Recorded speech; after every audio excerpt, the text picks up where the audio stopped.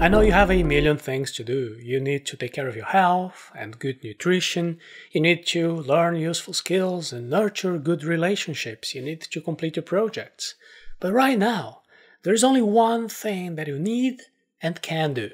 And to help you to find out what is the one thing in your life right now, let's summarize Gary Keller's book, The One Thing, which shows how focus can bring extraordinary results to your life. The more things you do, the worse you do. Many people believe that they can do many things at the same time. They even boast of being able to balance many activities at the same time. They believe that everything matters equally.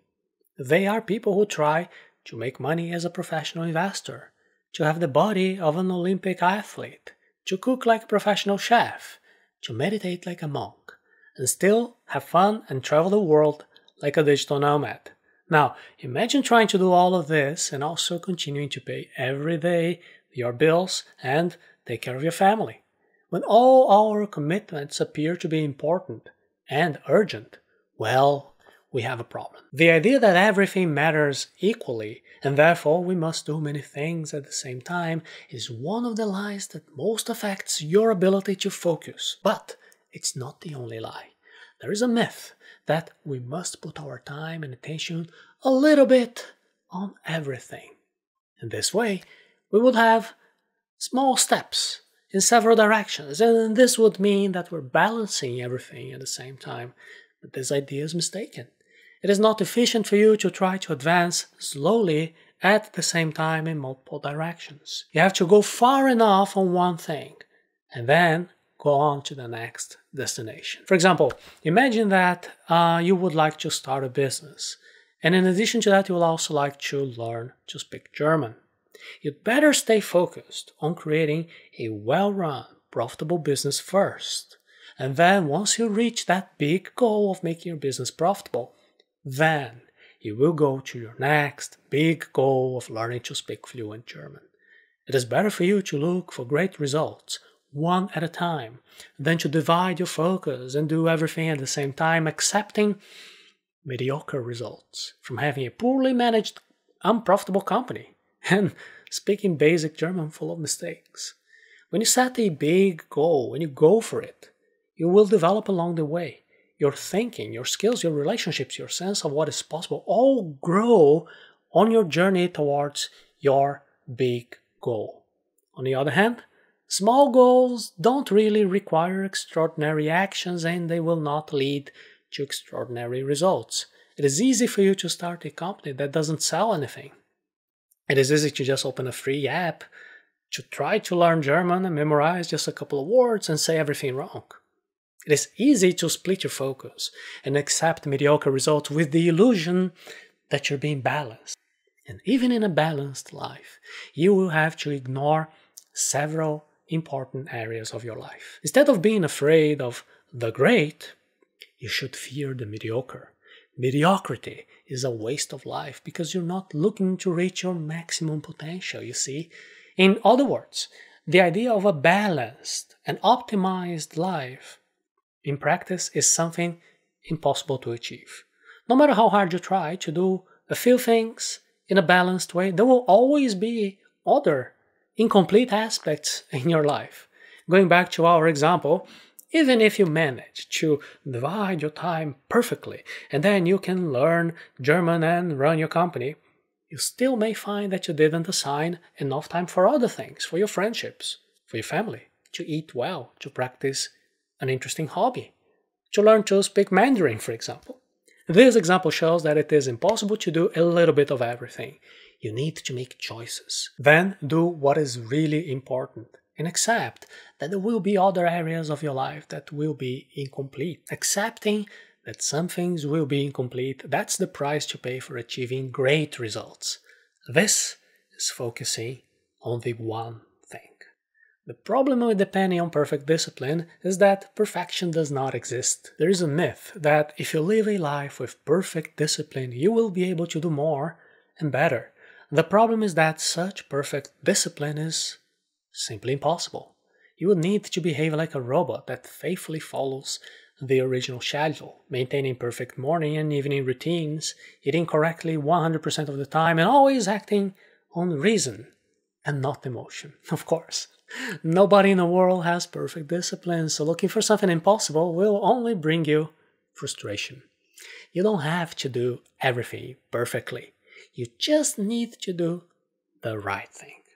And when you're moving forward and doing the right thing, the most important thing, then you can free yourself from the unrealistic expectation of having to have perfect discipline in everything. When you see an apparently disciplined person, what you're actually seeing is a person who has built several different useful habits for his own life. They probably concentrated their energy in building one good habit, focusing on that until the activity became autopilot. So, the trick to success is to choose the right habit and focus on it until the habit is established in your life.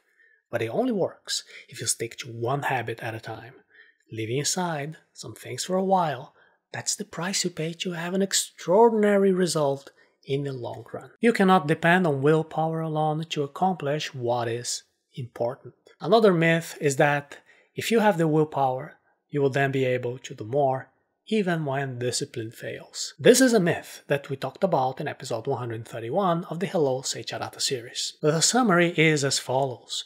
Your willpower is an extremely limited resource which is spent as you use it. It's a little bit similar to your phone battery. Willpower is not always available, and because of that, you should not create a strategy that depends on willpower. The path to productivity is simplicity. Think of something that you have done well in your life. It could be an activity at school, sport, or some professional work or event. When you achieve that level of success, my question is were you focused only on that activity? Or was your attention divided, dispersed in many different things? If you look closely, it is likely that whenever you had great success in one area, you have focused your concentration on one thing. And the opposite is also true. Whenever you have obtained average results, your attention was probably divided between several different concerns. The simpler you are when you're pursuing a goal, the better. You probably heard already of the Pareto principle, which says that 80% or more of your results come from 20% or less of your actions. But do you take this principle of being simple in your daily life seriously? Being simple means ignoring all the things that you could do to worry just about what you should be doing. It means recognizing that not everything is of equal importance and clearly identifying the things that are the most important. In short, it means understanding that extraordinary results are directly determined by your ability to focus on one thing. Your amount of time and energy is limited, and that is why you must be selective and strategic. We all tend to want to do too many things at the same time. We want to do well at work, but without leaving health behind. Then we want to take care of health, but we also want to have fun. And we want fun, but without harming our finances. And so we try to do everything at the same time and end up doing nothing right. The first step, therefore, is to be clear that you have a limited amount of time and energy. When you spread this energy in different activities, you end up being too dispersed. You want to have your achievements to be accumulating. But for that, you need to do less things and not do more things. I know this sounds a little bit contradictory, but it is not. If you think of your goals as a series of dominoes aligned, when you focus your energy on knocking down the first piece, the others will fall in sequence more easily, taking advantage of the energy of the previous piece. Your success must be built sequentially, one piece at a time. Do not confuse lists with strategy. If you don't have a strategy, your to do list will only keep you busy you can survive one day after another feeling that you're always working, but you need to create a strategy in order to actually make each finished task help you to complete the next tasks. And for your strategy, instead of thinking about a task list, think about a list of successes. And a task list becomes a list of successes when you apply the Pareto principle, focusing on the tasks, the few tasks that represent the most good results that you can get. Unfortunately, the dominoes metaphor does not really perfectly apply to our real daily life. The biggest challenge is that in real life, things almost never line up for us. They almost never show us exactly where to start, where to put our energy first. So, how can we do this? We can use the focus question. The focus question is the best and fastest way to have more focus right away. Knowing how to define your goals is the key to achieving extraordinary results in a short time. The problem is that defining which task to focus on has never been an easy activity. The focus question is a powerful question that is able to help you to define your focus with great precision. This question is capable of raising both long term and also practical questions as you go each task and what you should focus on next. Pay attention and write this question down, as it can revolutionize your personal productivity system. The focus question is as follows What is the one thing that you can do such that by doing it, everything else will be easier or unnecessary? What is this one thing that you can do that by doing this thing, all the rest of your to do list becomes easier or even unnecessary? By answering that question, you aim to achieve clarity in what you should do.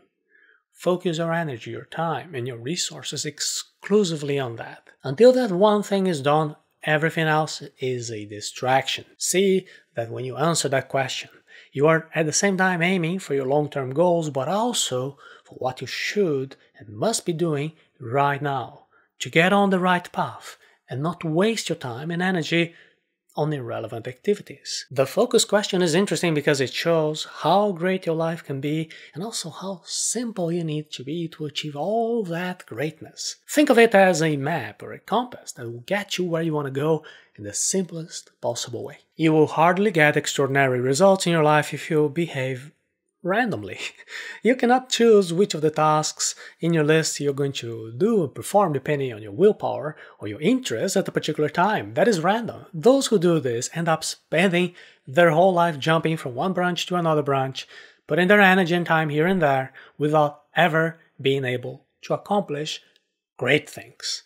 Extraordinary results are rarely the result of chance. To achieve this kind of result, you need to make the right choices and put your time and energy into what you have chosen.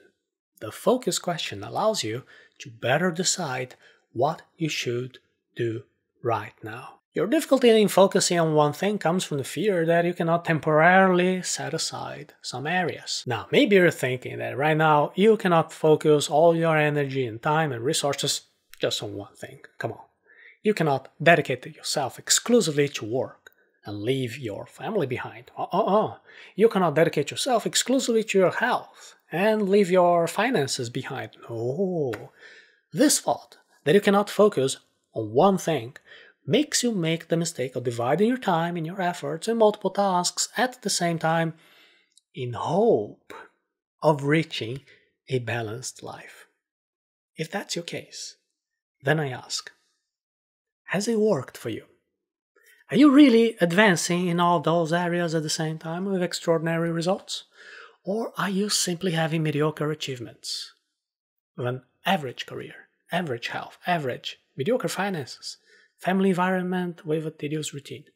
If you're not satisfied with the results, you're devoting yourself to multiple goals simultaneously, then try the one thing strategy. In this way, you will not be working in all areas all at the same time, but also you will not leave them for long aside. You'll take care of them later. Even if you focus on one thing, the other areas in your life will not be left behind for long. The first step is to identify where you're going to focus your efforts. What is the only one thing that you can do right now so that everything else becomes easier or unnecessary? The answer depends on your current life situation. For example, if you have currently an illness, an acute crisis, then all your efforts have to be directed towards your health. If you have that that is growing exponentially, you need to focus on your finances. If you're having serious family problems, you need to focus on your family. Even if you have all these problems at the same time, then you still need to choose only one and focus on it. As strange as it may seem, you need to set aside the other areas, at least for a while. And if you do that, what will happen? When you put all your energy, time, and resources in one thing, it is very likely that you will get extraordinary results. And when that happens, you can build a system so that result becomes a habit, it crystallizes in your life. For example, let's say that you've got a highly contagious virus. You concentrate all your efforts on not contaminating other people and also on healing yourself, leaving aside your work, your family, and even your finances for a while. You don't abandon completely any of these things, but you do only the basics, only the minimum, and you focus all your attention on health. With total focus, your health will improve much more quickly. And when that happens, you create a system so that the activities that you've done become a habit. Habits consume much less energy, time, and resources when they're formed. Now, with the health problem solved, you are now encouraged to attack a second problem. So then again, you have to ask yourself, what is the one thing that I can do so that by doing that, all the rest becomes easier or unnecessary? And then you focus on your career or in your family, on your finances, whatever. You totally focus on that new one thing. You get extraordinary results again, and then you move on to the next goal. And so, as in a domino effect in which each success drives the next, you build an extraordinary life of several areas in your life, even if you have to momentarily leave some of them aside. Align your priorities each day by repeating the focus question from time to time. The focus question addresses what is broader in your life and also what is the focus on the next task to be done. So you can find the right direction and also the right attitude that needs your attention. And you must have a life plan that gives you a long term direction that guides you to where you want to go. But it is difficult to make long term plans because unforeseen events, they just happen. So ideally, you should start each single day by asking yourself, what is the one thing that I can do today? So that by doing so, all the rest becomes easier, or perhaps even unnecessary. Ideally, today's answer should be similar to the previous day. If one day you focus on health, and the other day you focus on career, and the other day you focus on your family, and in fact, you're not really focusing on anything. Aligning your priorities does not mean changing priorities each day, but rather readjusting your performance in the face of a change in a context. Repeating the focus question daily also helps you to break down big goals into smaller tasks. For example, if you keep asking yourself, what can I do to double sales in six months? It's best to turn this into a focus question. What is the one thing that I can do today to double sales in six months, so that by doing so, all the rest becomes easier or unnecessary. This question will take you to the core of the task, the most important thing. Until today's task is done, Everything else is a distraction. No one can achieve great results alone. It is always possible to learn from others. The first thing to do is to ask yourself Has anyone else studied or managed to do this or anything else like that? The answer is almost always yes. Then your investigation begins with finding out what others have learned so that you can use what these people have done. You do not necessarily need to have direct contact with the person who achieved such a result. You can find the lessons documented objectively in many good books and published works. This information will be useful for you to be able to adopt the procedures that lead to the same results. The second step is to understand how that person's solution can apply to your life with the conditions and the resources that you have today. This will give you an original answer so that you have to reinvent yourself in some way to implement this solution. Your focus should bring intention, priority, and productivity together in a block of time. In Martin Seligman's model of positive psychology, there are five factors that contribute to happiness positive emotion, engagement, relationships, meaning, and accomplishments. And among these, engagement and meaning are the most important. If you can become more engaged in what you're doing, finding ways to make sense of life, then you also find lasting happiness. And this happiness comes from the fact that you're now daily carrying out actions aimed at a greater purpose. Because of this, your focus should always bring together intention, priority, and productivity. Intention to achieve great goals, one at a time. Priority to always focus your energy, your time, your resources on the one thing that you can do to make everything else unnecessary. And productivity to forget everything else and focus exclusively on that priority, reserving blocks of time for each task. Imagine that starting today you had the ability to focus like a laser beam on one thing. This laser beam would be focused on a single obstacle, a single barrier that separates what you are today from what you really want to become.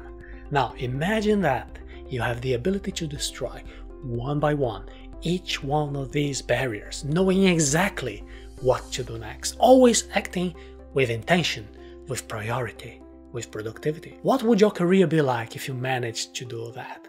What would your health, your finances, your family environment be like? And the good news is that you have this superpower. All you have to do is to identify it. What is this one thing that you can do so that by doing this one thing, all the rest of your to do list becomes easier or maybe even unnecessary. For you who are interested in mastering the art of concentration on one thing, I invite you to know our focus course by accessing arata.se forward slash focus course.